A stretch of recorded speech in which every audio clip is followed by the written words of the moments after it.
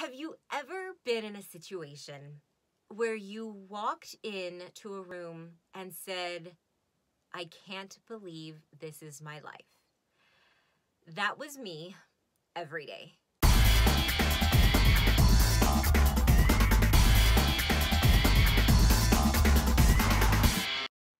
Hey friends, Psypris here. So I wanted to talk about uh, what I'm about to post. Um, so I like, I don't know how to start this. Um, back in 2017, 16, 17, 18, 2017, I think, I worked um, at a YouTube channel. um, it was a children's entertainment channel. And uh, the channel that I started on was called Princess Pickles. Again, it was a child's entertainment channel. Um, if you've ever heard of CookieSwirlC, we were very much like her. Uh, we really focused on the content that she put out. A few other channels as well. Um, but she was the main one that we focused on, and she is still around. Princess Pickles is not still around. So if you are interested in the kind of content that we did, and um, you want to see, you know, the popularity that, that it, could reach, CookieSwirlC is the perfect example of that. Um, there were other, as I said, there were other channels that we focused on. I don't want this to be dramatized. Um, there's no scoop, there's no tea, there's no drama. If you are thinking of Elsagate, this is not the kind of channel that was involved in that sort of thing. So there's not going to be any heavy, oh my gosh, you know, ooh, what was that? It is what it is. So I just wanted to share because have you ever been in a situation where you walked into a room and said, I can't believe this is my life. That was me every day. Um, you know, I've always heard that thing where your memories, every time you remember it, your brain actually fills in parts. So it's not always the truth of that moment. But I wanted to have an introduction to this and I kept stopping myself of talking about this um, for two reasons. One reason, I was scared of any sort of um, legal backlash. Uh, again, I am not saying anything that is going to incriminate someone. Um, I'm not going to talk about my boss. Um, really, there was, again, there was no issues. I left because the position just disappeared. Um, it's just natural, the course of things. So, you know, there's no huge drama, but at the same time, I signed an NDA that I wasn't going to talk about what I did. That NDA has since ended, um, but I still respect my coworkers and my employer, um, even though I don't work there anymore. Uh, I, I don't want to create any sort of discomfort. Not that I think that this video is going to be seen by many people, but if it were, I don't want to cause any sort of just drama, just he. There, it isn't there. But at the same time, I personally really enjoy hearing about behind the scenes stuff. So people who, you know, why they left BuzzFeed, you know, hearing about, you know, what they've done. And even the people who used to work at um, Disney, you know, uh, fun fact, I actually auditioned to be a Disney princess character um, at Walt Disney World. Um, I was too short, unfortunately.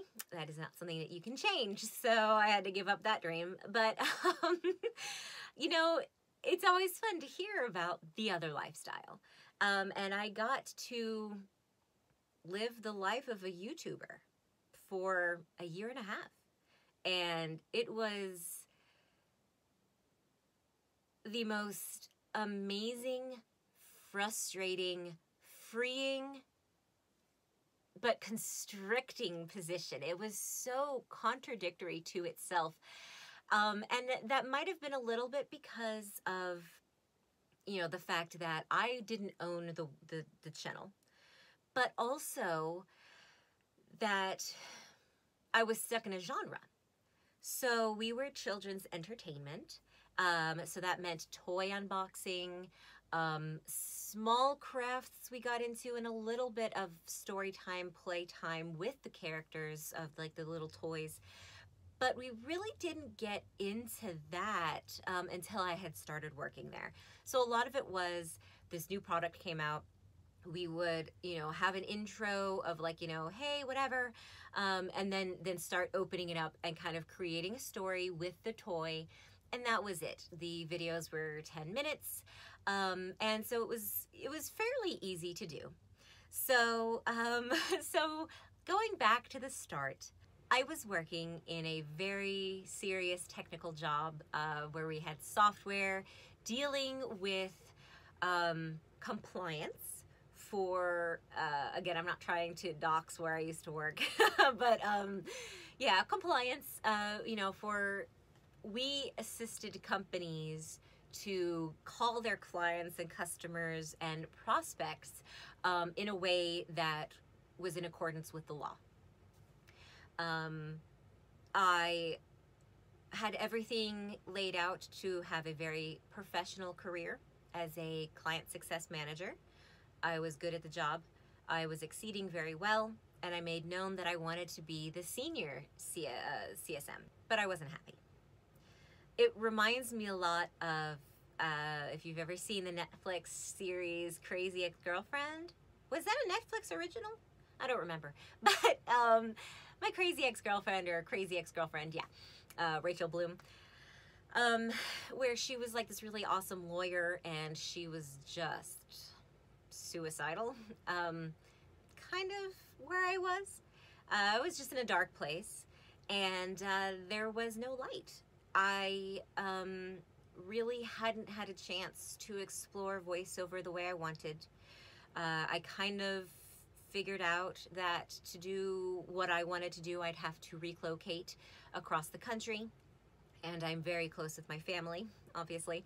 So um, that was heartbreaking because I was I wasn't going to do that, and I am not going to do that. So I was just coming to terms with the fact that voiceover was never going to be the full time career that I wanted it to be and sitting in that cubicle space dealing with high stress. You know i i would you know have i i was promoted. Originally i would have days where i would wake up at three o'clock in the morning because i was on call. Um, i did get out of that but then i was you know the clients had my number or I, I had a work cell phone but you know they, they could call me anytime they had an issue. And so even during holidays i was always on edge and it just it felt like a dark hole. It felt like is this really what life is? There was no deeper meaning um, and i could get into that a little bit more but i won't. Um, so i just started looking around. I don't even know what i was looking for. Um, I wanted to get into the entertainment industry any any way that I could. I thought maybe I could just be a receptionist at Turner Broadcasting Studio just to get in there. Um, I had also just come from um, Connecticut School of Broadcasting. Shout out! Um, again, I was like the tour guide there, secretary. You know, I I, I was aware of many hats.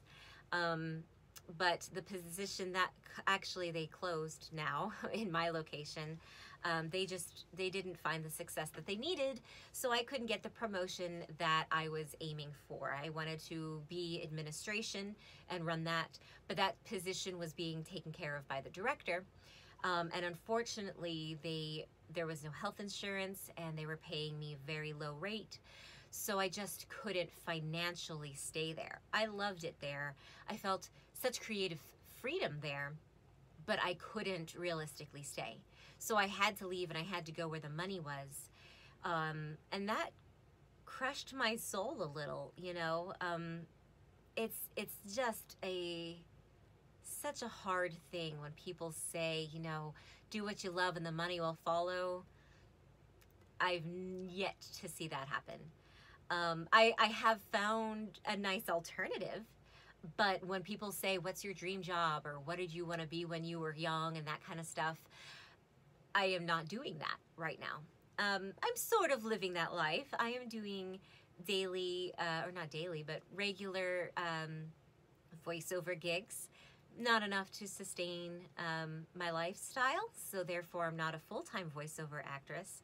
But I do voiceover. I am a professional voiceover. I, I've paid down my credit. I love saying that. I've paid down my credit card completely um, via voiceover entirely. I bought a Mac, you know, entirely off of those funds. So I make enough. It's just not that regular to be my full time income. Um, so you know and, then of course um, my dream is to be an entertainer i've always wanted to entertain people period didn't care what i did i just wanted to entertain and then i found out what voice acting was and i was like this is amazing so but in kind of wrapped into there that's why I wanted to jump back on to this channel. And of course, I still have tier two, which I adore. And I know I need to post more, so. But it's just, it's difficult, you know, to to find that happy medium where you don't have to stress about finances. You aren't living paycheck, paycheck to paycheck. Um, there is a, a sort, you know, money can't buy you happiness, but the people who say that usually don't have money problems. You never hear someone in poverty saying money can't buy you happiness unless they've reached such a nirvana state. You know, they're in, in peace and mindfulness and they don't mind not having a home. When you look at that pyramid of psychology, um, where you know you need food and shelter and clothing, and those are your base levels. And when you independently cannot guarantee those pieces, you just feel like a failure, or at least I did. And so I was living this um, this job that was great on paper, made me look like a healthy adult, um, but it just wasn't happy. And so I randomly found an ad on Craigslist for a content creator for a YouTube channel. Um, it sounded actually a lot like doing voiceover, um, but it was for YouTube. So I said, why not? And I applied. And it took almost a month talking back to back, but I ended up getting it. The funny thing is, I remember this was, I got hired in May and I live in Georgia. So southern heat, you know, we were like in in summer. I know June technically, whatever, but um I remember sitting in my car. I turned off the car so that the, you know, I, the person that was interviewing me, my future boss, um, wouldn't hear the car engine. Um, but I was also away from the building so that my current employer wouldn't know that I was taking a phone call in my car. So I was just sweating buckets, um, just sitting there talking about, oh yeah, I watched those 10 random children's channels. I think those are fun. I could definitely do that. And um, so it was so weird to be like, okay, you know, so then I went, I met them at a Starbucks because the, um, the studio that they were booking hadn't opened yet. So they hadn't actually moved in yet. So just a random thing of my first day of work, I drove to my boss's personal home. Now, granted, they were very, or, and they still are, very affluent. So it wasn't like I was driving in, you know, really sketchy area. You know, it was it was very luxurious where they live. Um, they now live in Florida, so I uh, I'm fine talking about where they live because they don't they don't live there anymore. Um, but I walked in and there's like a Barbie leg hanging off of the chandelier and we're just sitting at this table these two lovely ladies um, who are my coworkers And um, my boss was out buying the product that we were going to film that day. Uh, we go upstairs to an additional like playroom, I guess you could say. It was it was set up um, to be you know recording, um, but it was just extra toys and stuff in there. I watched her and she'd say, okay, you know, you're going to hit record and then you're going to wait a second and then you're going to do this and you're going to do this or whatever. Um, there was never face cam. It was always just our hands, which you'll see in a video. And um, so I watched her do one video and then she said, okay, let me know if you have any questions. And she left. and I was up there with um a Barbie. I was opening up a Barbie's like the vet one where she had like she there was like a little cow and a little sheep um and then like you know like the bandages you could put on them and like give them like the shots and stuff. Yeah, that was my first video, my first episode. I wish I had saved it. Um I remember being so nervous. I could not remember the sound that a cow made. And I had just met my coworkers 30 minutes ago, so I couldn't go downstairs and say, hey, what sound does a cow make? I guess because I, oh, that's what it was. I left my purse downstairs, so I didn't have my personal effects upstairs. It was me with my boss's phone. It was an extra phone. She bought an iPhone to record these uh, videos on, and um, I didn't have anything and I was paranoid about going downstairs to ask a question and look like I didn't know what I was doing. So I literally said to the editor, I am so sorry. I don't know what sound a cow makes. and so I just had to go, and I did. I made that noise. It was like, oh, this little cow.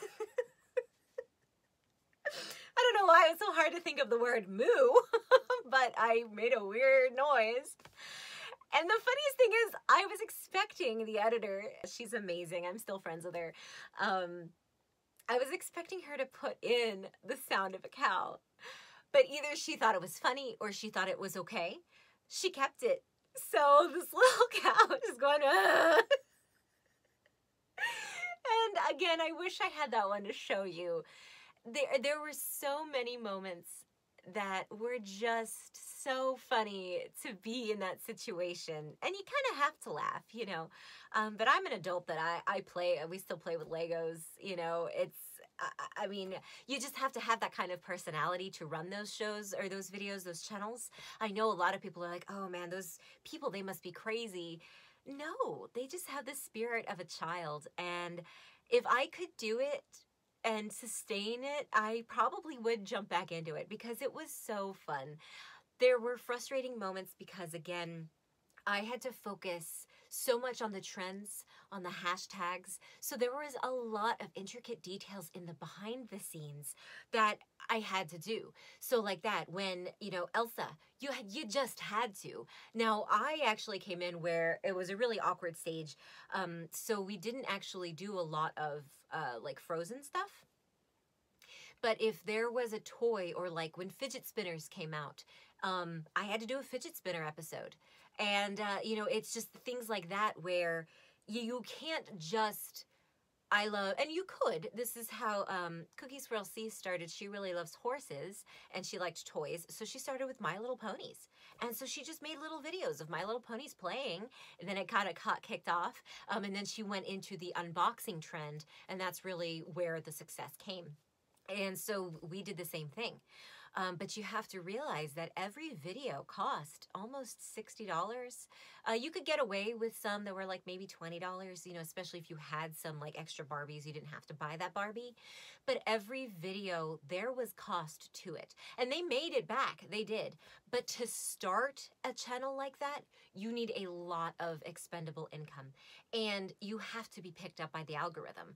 And right now, the way things are, because of how the the COPPA, um, you know, everything like that, but in um, 2018, I think it was, um, that really changed the game for children's uh, YouTube.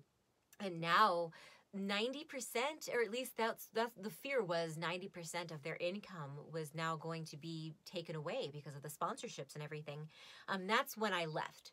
So i don't know exactly how it is right now anymore Um, but I, it's not something that I could do because it just, or like at that, you know, to be successful in that way just would not be realistic for me. Um, you really need to have that income to jump into it. And a lot of people don't realize that. It's it uh, for that specifically. The other videos, you know, vlogs when you go out, you know, what even, you know, yeah, you want to taste stuff. Mukbangs, those can't be cheap. You spend so much money on food, you know. Um, video gaming and stuff, I think that's the easiest thing to jump into only because you bought the game, spe- you know, specifically or whatever because you like playing video games or you already have a video game. A lot of stuff like on Steam or whatever you can get for cheap on sale or for free. Um, and so you can kind of jump on the bandwagon that way. Um, tier two, we kind of specifically said we didn't want to try to do super trending stuff unless we were genuinely interested. Um, we might back up and eat those words uh, just to see if we can grow the channel, but we also want to stick true to who we are. Um, and with gaming, because like that, that is one of the easiest ones to jump into in that there's not that much setup that you need. The game is already created, so you just add your commentary and then you have your video. But with a lot of these other things, you need to buy the product to show it off, makeup and that sort of thing. Like you need to invest and then you can you can show it off. Uh, cooking channels and stuff like that. I mean, there's a lot of stuff on the back end that a lot of people are like, well, how do I get into it? And people are like, just do it. And that's kind of why I, I started filming this video. I'm like, I could have tried to go back to my receipts, my, my resume, um, to get like all of the details and everything. But you do at some point just need to jump into it. It's never going to be perfect, but you also need to be prepared. And more so in a way that people don't really necessarily consider. Yeah, you know, you need good audio, good lighting, good sound. Um, that's what audio is, but quality of video. Um, but you know, and obviously you can always kind of upgrade, you know, but um, I don't know. There's always there's always that starting point, but there's always that initial expense, and I think that happens with everything. People always ask, you know, I want to get into voiceover. How can I get into voiceover? You need coaching. I don't care if you have the silkiest smooth voice. You need to know how to use it. And people think they know how to use it because they think, oh, well, you're just reading. Um, but that's going to be very dry unless you are exactly what they're looking for. You know, like it's such a niche thing to be untrained voiceover. Some people do it. Some people are, are magical with it where, you know, kind of like with acting. They are, you know, they, they were found in a coffee shop or whatever. I mean, wasn't it Chris Pratt was homeless in Hawaii and he just got like booked for a role. I don't I can't even remember his exact story, but it's like a fairy tale. That doesn't happen for everybody. Um, and especially with voiceover, it's not going to happen unless you already know people in the gig. The people who have those stories either have a friend or a family member who was already in the entertainment business. Very rarely are you going to hear about someone who got picked up at age six or 18 um, just randomly off the street. You need that demo, and that demo is going to cost $1,200. You can get one cheaper, but it might sound cheaper. You get what you pay for. And then, of course, no respectable uh, demo producer is going to do that to you um, without a few weeks of training. So that's between 75 to $200 a session. Um, I've done both. Well, uh, maybe not 200. Maybe that's a little bit, whatever. But um, yeah, so you spend six to $800 on your training, you know, for six to eight weeks. Then you spend $1,200 on your demo. That's how you get started, you know? So people don't think about the expense that goes into it. I went off on a weird ass tangent, but maybe that's what this channel is gonna be. I don't know. Um, I just wanted to kind of get that off my chest because that's important and no one really talks about that. And I just realized you see Skidoo, Skidoo, yeah, Skidoo behind me. Um, yeah, this is my studio uh, for voiceover, but um, we also um, have some of our larger um, costumes in here. So I think I'm going to make another video about the behind the scenes um, probably after I do the main bulk. So what's to happen is at some point I'm going to do reaction videos. I'm sorry, I have hair on me. I don't know where it came from. Well, I do. We have six cats.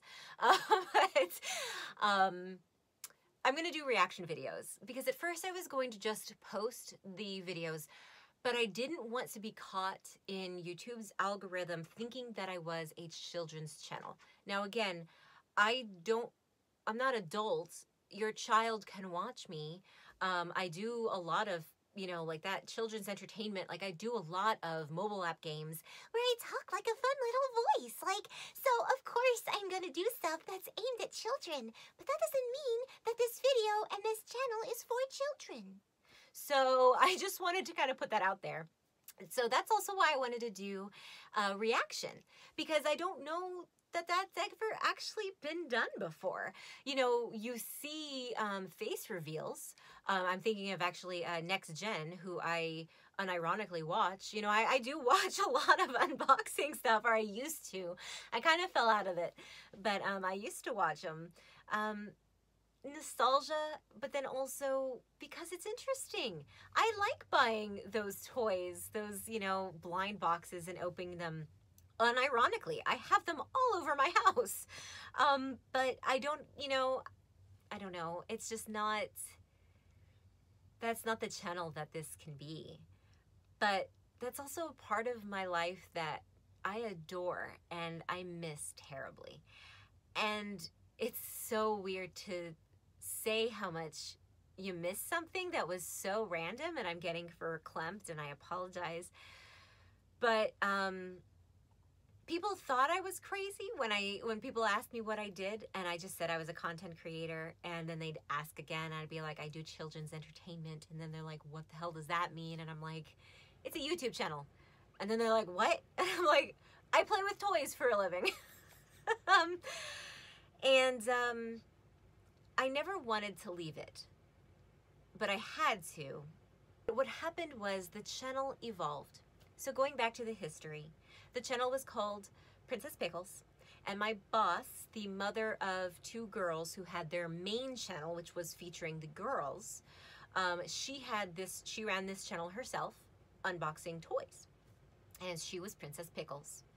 And uh, when I came on, I became Pickelina, the pickle fairy. Just kind of jumped right into it. Day one, they we didn't even know. We were just like, you should be something. Say something like, you know, Princess Pickles, you know, is in the pickle patch. Um, because she was going to kind of wean her way out of it because she needed to spend more time with the main channel. But the side channel was doing really well as well. And that's why I was hired. So I completely took over it. Um, we never really did that kind of explaining who it was. Um, we had different hands. So some people were like, "You're not Princess Pickles," and I and I never said I was. I always said I was Pickelina, but of course these are very young audience members, so they still thought that I was the mother of the children. Even though that's really funny, um, because she was African American and I am um, ivory. Literally, when I go to the store, I buy ivory makeup. Um, and so it was really funny to people be like, "Oh yeah, she's the mom," and I'm like, not anymore. I'm a different person, but it's okay. Um, so that was really funny. But anyway, so yeah, I got to do uh, my nails every week. I did a different color, but that was also really funny um, because I had, I was almost like a hand model, you know, and it's really funny now because I actually have a, a uh, costuming um, incident. Um, so I have a scar. Um, and this happened afterwards. This happened in 2019. Yeah. Um, but I remember getting it and I was like, oh, my hand modeling career is over now. Especially while it was healing, there was this big bandage on it. And I was like, I don't know how I would have gotten through this because I even even like um you know like biting my nails like I completely had to stop that. Like I literally treated myself like I was a hand model because you need nice hands when you're filming your hands doing these crafts and stuff. And that's also why I want to get into it. Maybe my manicure will start looking okay. But we were you know we were copying the trends. So I was living in a box and I got to be as creative as I could in this tiny box. Um, we then started um, a another channel called Dollipop. That was my baby. Um, that happened almost as a joke, but I was like, what if I played with the Barbies? I don't know. So I ended up doing um, videos of Barbies because we watched, um, oh my gosh, what was it? Somebody's World, Gracie's World. Um, and she did Barbies and they talked and everything with like a green screen. So I started doing that with uh, random Barbie dolls. Um, and it started as a one-off. Um, this Barbie called Piper, uh, who I, I kept when I left, I took her. um, she was a dog walker, so she was one of those unboxing. And I made a story, and it was like a, a love story that was based on 101 Dalmatians, where like the dogs could talk, and then the humans met, and like so it was a double love story.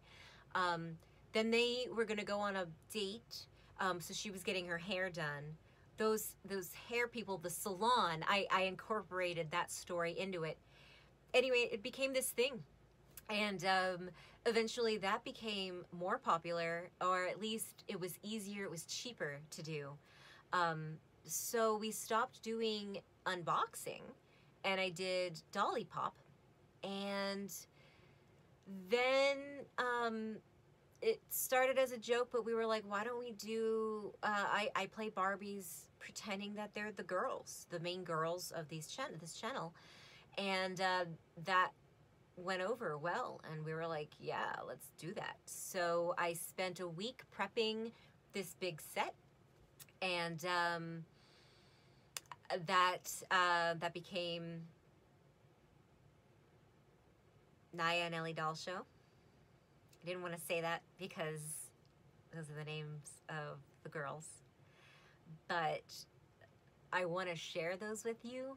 Um, right now, the channel is still up. Um, I don't know how much longer it would be up because it got switched over again um, to the main people. And that's, again, roundabout how I left.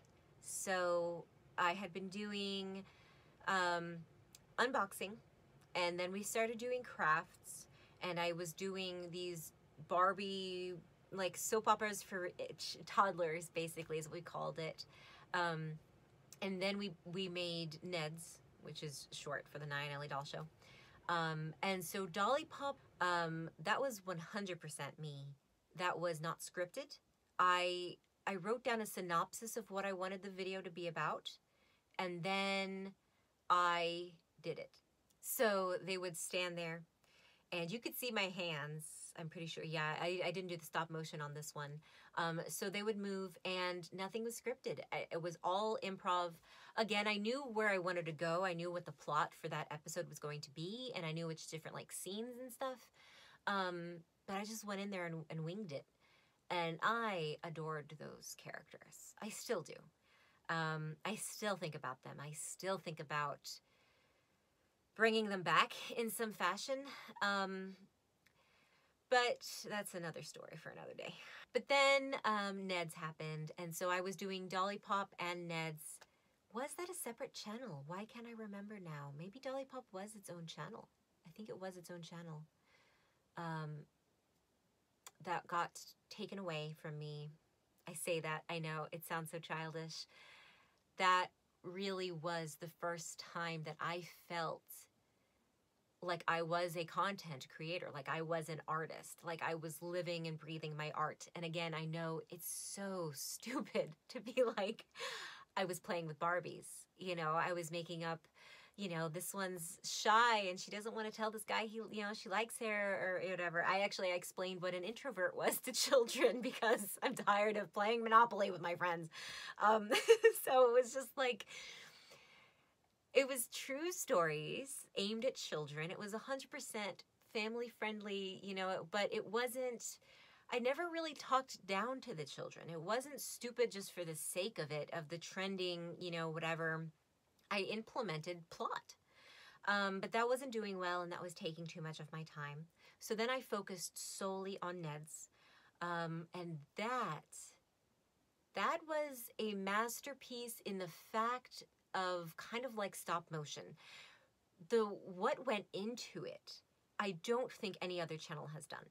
Um, you'll see about a year ago, I made a how to do uh, how to do one of these videos um, where I again it was it actually worked better on an iPhone than it would on like a camera because you can stop it like the small clips were actually easier.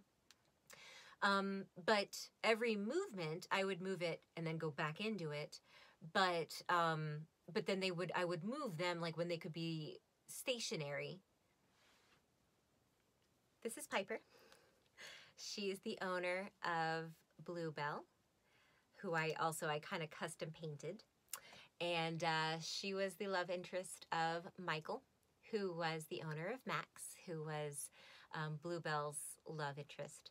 Um, there was some behind the scenes stuff. So Michael was taken by a different doll channel uh, when Dolly Pop ended. Um, but I hid Piper. and then when I left, um, it was kind of agreed that I could steal her um, because they weren't going to use her. And um, this doll means so much to me, and it's so stupid. Um, but she represents what I could never do. I always wanted to be an entertainer.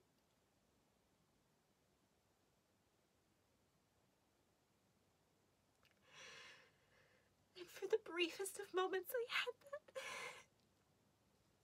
that. I always get so defensive when I see YouTubers making fun of these children channels because I know what goes on and um, you just don't understand. Says you could sense I was uh, upset. This is my dog, Cecily. Anyway, so she's going to keep me company. Um, but yeah, so um, sorry I went off on a tangent. It was really cool because she would move and like talk like this, and then I would pause it, and she'd move, and she'd be like, ah, and then she'd go back. Um, and that was so time consuming, but it was so fulfilling to be like, look what you can make these dolls do. We actually, that's why we, um, she, this is not her original body. We had to get, um, posable Barbies. Those were a game changer. It was amazing. I hated recording with little Chelsea dolls because they wouldn't bend. Um, but these dolls, you, they are so articulated. Um, and they really, they could do everything. So I actually did, um, I was debating um, doing my own stuff on my voiceover channel um, because this is um, the kind of matches the hair of my channel over there. Um, so this is essentially me. um, I know I don't look like her, but um, but I never went ahead and did that. Uh, this is actually uh, the yarn hair. If you're ever interested, I might actually do a tutorial on that. I was going to, but I never did. But uh, it's literally, it's yarn, and then you untwine it and um, straighten it with a, a, hair straightener as long as you're safe because you can totally uh, melt off the stuff. But it is so smooth and uh, it's a different texture, but it's just super cool. Anyway, so um, it was really cool to do that content. Um, and so we were aiming then um, just doing Neds and I was able to get it away from just the trending stuff of like uh, morning routines. If you've ever watched a child's YouTube channel, morning routines were it. Brushing your teeth night and day. Um, and we kind of were getting away from that and putting in plot. Um, and so then it went, it was scripted. Um, it had to be scripted because the girls, um, and then later the mother, and then also actually the father eventually, um, started doing their own voices as well. And so um, that was really cool. So at first, uh, the first season, I did all of the voices except for the main family um, because again, there, it was based on a real family, um, and it was a love hate relationship because of the standing and the recording. Um, the other, the unboxing videos would take maybe between 30 minutes to an hour. Um, and then it would be edited down to like 10 minutes. I would do two videos in a day. I only, so I recorded one video every day back in the day. Um, but then uh, we needed some extra like just in case like if i got sick or something so i ended up doing two videos a day so um, i would record the new one in the morning that we would post and then a backup one that was a little bit more like evergreen so it was like still trendy but it was based on like older videos that what happened and everything uh, just to kind of getting picked up on the algorithm and I ended up having so many of those. That's why I was able to start doing the doll series because I, I had enough that I was like, okay, well, now I have time. I can do this. Um, and then that's how the, the Neds came around. And that was so popular and so fun and everyone loved it. I, I'm so sad that the comments are now turned off because they really loved it. They really loved seeing these little girls that they watched live do these things as Barbies. Um, and then it got so popular that two of my really great friends now uh, became my coworkers. I didn't know them, I met them here. We were uh, a troop of six girls who never, never knew each other, but we we we bonded so much over just these silly little dolls. So I had someone to help me write, uh, script it, um, and then we had someone who actually made these little like you know did the set and everything. She's fantastic. Um, and we were actually going to start another doll series because it was so popular. Um, this and also this style, like no one had done this before. And then it was so amazing that we actually had our miniature sets built for us. It was like laser um, etched or whatever. So we had wood pieces that we could switch out for the scenery. I I know I, I recorded some of the stuff. I really hope I have some pictures of like behind the scenes um, it truly was such an artistic piece. Like it was really great in production. Like, yeah, like, okay, fine. The videos themselves might have been silly. YouTube, you know, whatever, like just talking about, oh, don't, you know, copy my homework. I don't know. But, um, eh, you know, just the, the production that was behind it was legit. It was a legitimate production. We had scripts, we had meetings about, okay, we need to do this and all that kind of stuff. Um, but unfortunately, that started coming to an end because there was some back end stuff um, where we kind of had to go back to being trendy. Uh, we took a break for a while. Um, again, because it was just, you know, they were paying three salaries for one channel. Um, and they had uh, other channels that they were running on their own. So we took a break, and then I started doing those channels directly with the girls. Um, I would come up with some content and film them and everything, um, which also was a lot of fun. It was just different because you relied on children, and so you had to do, you know, based on children. They had to go to school, you know, you couldn't work them too hard. Like they they really did really well with their children. Unlike, you know, you you see some of these uh, um, family videos and stuff, family channels that they that was not them um, these children were able to play with toys on their own. And then they knew okay you sit in front of this and you do you know you, you do this video. So it was really fun to have that studio and it just looked like a giant toy room. It was really fun. Um, but the doll show had already been postponed once um, and then it was getting put on hold again. And it just felt different this time. And this time we knew it wasn't coming back and so my job was going to just be editor. Um, they also were talking about moving to Florida, and I wasn't going to move to Florida. So I couldn't be, you know, a content creator through the children anymore because I wouldn't be there to help film them and, and get the toys and everything. So I would just be a video editor. And I toyed with that idea for a little bit. Um, but then there were other factors. It just was was the time. And uh, and so I left and uh, my coworkers left too, so it just ended up to be the two um, original coworkers that were there when I started, and um, and that was that. A year and a half of my life. Um, it was amazing, but again, it was frustrating. Um, it was liberating, but it was so constricting the entire time, I was so close, I could almost taste it. I remember literally saying those words. We almost got to the point where we were trying to get picked up by like Amazon or you know Netflix that kind of thing and actually try to have a real series. I wrote a one page of this other um, story that I actually might write as a, as a novel. Um, we we were doing it. We were going to go to a convention where these things got picked up. Um, unfortunately, we couldn't go, and um, the our boss didn't go to the meetings that she needed to have gone to, so it never got picked up, um, or we never got into those meetings. Um, but it there was something there, and our team was so amazing. And it's so weird because um, when I left, it felt like a hole. And again, I, I I wanted to continue doing it on my own. I was able to tell these stories in a way, you know, because I'm not an animator. Um, and I didn't have, you know, it, you didn't have to worry about actors because they, you know, they don't need a break. They'll they'll be fine. Um, but it was so time consuming. I would literally spend an eight hour day filming one episode. It it it really was a production, and that's not something that you can do as an individual, you know, needing to work a full time job.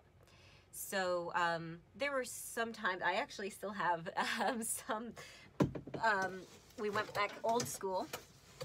So this is what the very first thing looked like. Um, this is I made um, a studio for my Carrie character, and um, that was even poster board. That's how the uh, the first Dollipop videos and stuff started. Um, and then I had um, the base was another one that um, this is felt, but it looks like carpet, and it would be laid there. Um, they also make like for scrapbooking, you could do so it looked like wood flooring. We got really creative, um, and that's how we did it. And you know that itself cost I don't know like I think the whole thing cost like maybe 50 bucks or something to do the original set. Um, which again was the cost of one episode. So I was able to say, hey, look, you know, I know I can do this, you know, um, because we already had the Barbies from other videos. So um, that part's not the hard part. it's the cutting it and making it look good. And so, yeah, she could always be here and I can, you know, still have my hands and stuff and it would go a lot faster and maybe you know going back to what i had said about it's not going to be perfect it just felt like it was the time to let it go uh, i still love the name Dollipop which actually wasn't even my idea. So i still kept fighting and like wanting to do that um, but i just never really could. I did do um, finally like a monologue which is kind of my way of letting it go and i did do that one final piper. I knew i was quitting um, no one else knew and I was at the end of the day of filming in one particular scene, and um, we already knew that the series was ending. Um, we were able to do one or two more episodes. I can't remember exactly why. It was going on hiatus, but we were like, okay, we'll have like a season finale. Uh, it never aired that one anyway. But um, so at the end, I did my short little one on my own phone of her that I got to save, and I put on my thing of just her getting to say goodbye. I know, again, that's so stupid, but when you think about it, like an author writing a book, you know, like, you know, burn that manuscript, you know, in front of that author, and they're gonna have a hard time with that. You know what I mean? Um, and most of most of my content is gone now, you know, or at least some of the earlier stuff. I do have some, I have all the Neds are, are saved and um, I saved some of the Dollipop. I don't have all of them um, because they, they got taken down before I left. So I, I, I, didn't, you know, I just wasn't able to save them. But, um, you know, I still have my memories and, uh, and I still have these videos which like an hour later we're finally getting to. Um, so I will be returning to do um, reaction videos um, to my stuff so that therefore it will be original content because it'll be my commentary. Um, so even though these videos have all been taken down, the channel has been completely renamed. You're never going to see these unless someone else bootlegged them. um, you're never going to see these videos anywhere else. Um, but they were originally another content uh, because I created it, but it was under um, my my boss's channel.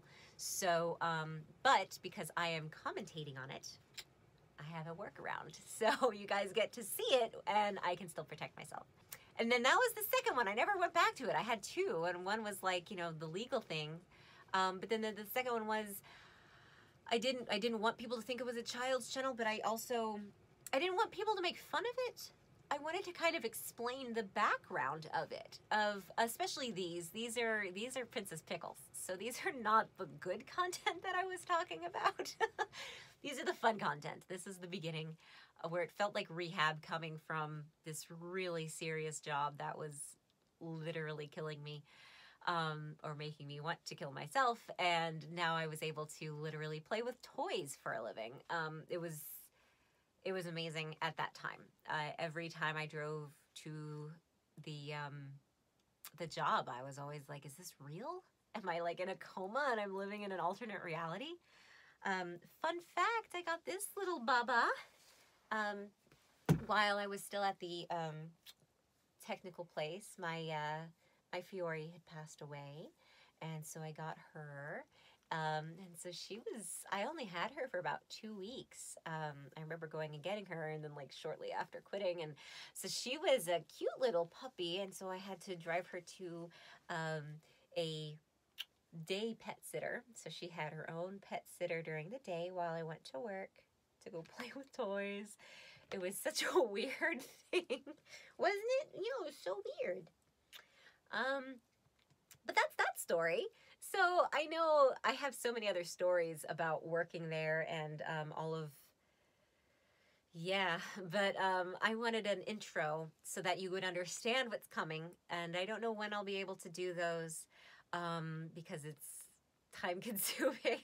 I have a lot going on in my life, um, but I definitely want to get back to this because YouTube holds a special place in my heart. These videos at least do, you know, taste testing, craft videos, you know, whatever. Um, so I don't know, maybe I will be a story time channel if I promise not to cry every episode. That would be good. Um, I'm not going to cry next time. That's awkward for everybody. Um, but anyway, yeah, I hope you found this somewhat entertaining. If not, um, maybe you'll find my next video entertaining. So stick around, like, comment, and subscribe. And uh, yeah, stay crazy.